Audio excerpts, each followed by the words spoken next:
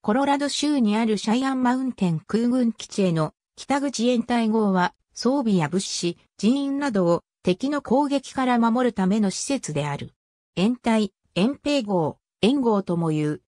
通常はコンクリート製で少ない資材で大きな強度が得られるかまぼこ型をしている。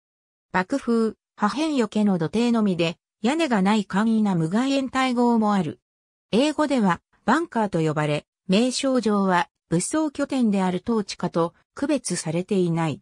陸上自衛隊では、延隊、航空自衛隊ではこれを、行政上は、延隊、運用上は、シェルターと呼称する。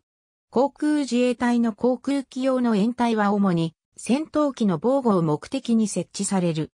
一般に格納庫は、脆弱な鉄骨造りだが、延隊は、鉄筋コンクリート造りであり、一機ずつ分散して格納することで防護能力を向上できる。航空自衛隊の戦闘機部隊は全国の7基地に配置されており、そのうち北海道の千歳基地、青森県の三沢基地、石川県の小松基地の3基地にまとまった数の航空機掩体が設置されている。それ以外の茨城県の百里基地、福岡県の追木基地、宮崎県のニュータバル基地、沖縄県の那覇基地の4基地への設置はあまり進んでいない。陸上自衛隊では、掩体号や残壕を構築するため掩体掘削機を配備している。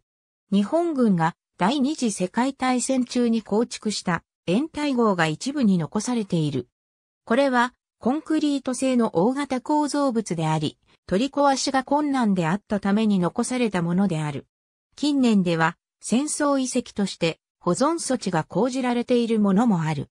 その他にも倉庫として使用されている例があり、例えば、米子空港構内とその近傍には数基残っているが、一部は地元の農家が農機具、肥料倉庫として活用している。ありがとうございます。